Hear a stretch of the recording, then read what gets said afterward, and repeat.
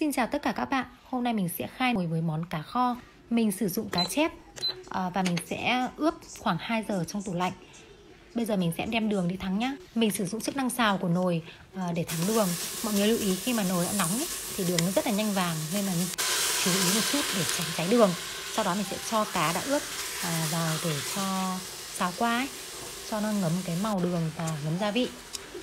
Tiếp theo mình sẽ đổ cái nước mọi người lưu ý là nước sôi nhá để cá không bị tanh xâm xấp với mặt cá. Đó. Mình chỉ đổ xâm xấp mặt cá thôi không nên đổ quá nhiều bởi vì khi kho thì nó cũng không bị rút nước nhiều đâu ạ. Tiếp theo sẽ đóng cái van khóa này lại và sử dụng chức năng thịt này. À, mình để với mức áp suất cao có nghĩa là trong 45 phút đấy.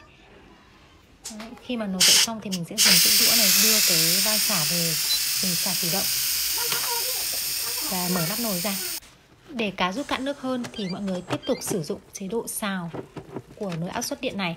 Mình sử dụng chế độ xào trong khoảng ờ, 10 đến 15 phút nữa thôi là cái nước này nó đã bắt đầu quánh lại rồi, tắc xe lại rồi, cá rất là ngon. Khi mà mình kho bằng cái nồi áp suất điện này cá rất là nhừ, đặc biệt là xương mềm, cá không hề bị nát.